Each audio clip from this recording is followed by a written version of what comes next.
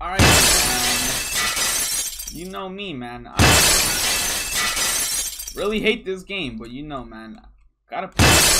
Oh! Yo! He sacrifices life for me, bro! Yo, what a clutch gamer.